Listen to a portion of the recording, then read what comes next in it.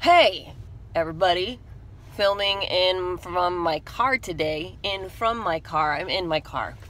Um, because that's just the way this week has been. That's how I'm going to roll with today. Um, and uh, to be honest, I'm still finding my voice and how how I want to do all of this stuff. So might as well experiment a little in the car. I don't even know where I'm supposed to be looking at this point. Is it here or is it? I keep looking at my face. So I, I took like a staycation this week, and I don't know about you guys, but vacationing is hard for me because it takes me like a full three days to just shut the fuck off um, and just get my brain to like slow to a place where I can finally just actually relax. Um, and I found myself just kind of a mess and i literally just didn't hardly even enjoy like my first few days off.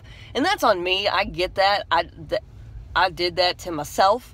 Um, but one of the things i had to keep reminding myself of was this whole idea from improv um, that's i'd call it building brick by brick which is this idea that because uh, in an improv performance you're working without a script, you're working without costumes, and you're working with people who also don't have scripts, uh, you have to actually build a scene brick by brick, which just means you can't come with a fully formed house. You have to come just with your brick. Whatever you have in that moment, just bring that, and then together you can build something with somebody else.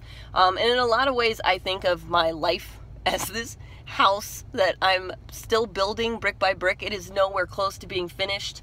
There are some rooms that I have destroyed, just completely just fucked over, and I've had to just shut shut those away for a little bit till I can rebuild those.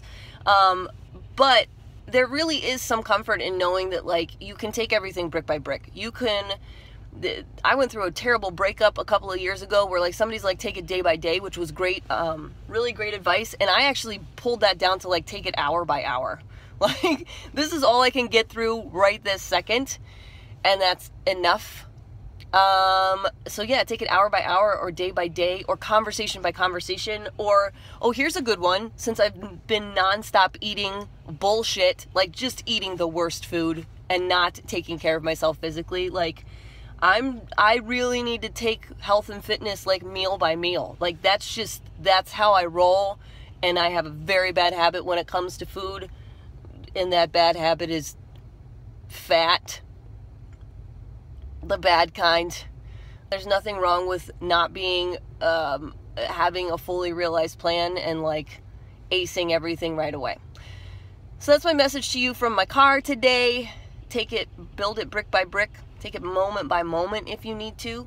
Um, if your kids are being little assholes today, you know, take it minute by minute. Uh, if your boss was a real dick, like just take it task by task.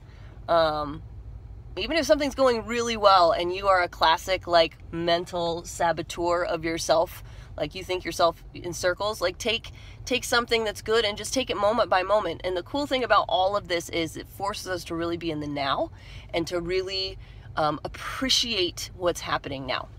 So even though i fucked up the first two days of my vacation and my diet has gone straight to hell uh, yeah brick by brick. So thank you all for watching, for reading, for sharing.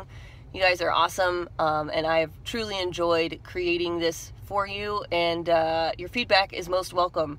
Um, yeah.